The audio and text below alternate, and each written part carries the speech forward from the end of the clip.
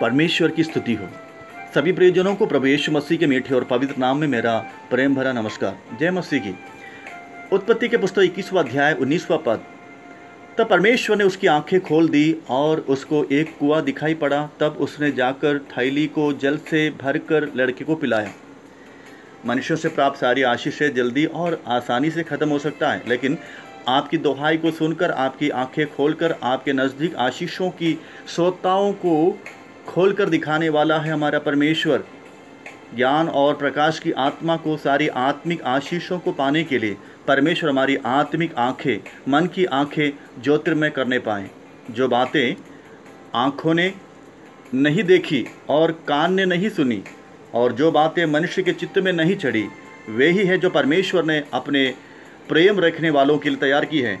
उन आशीषों को परमेश्वर हमें देना चाहता है। प्रार्थना के साथ प्राप्त करें। आमीन। God bless you.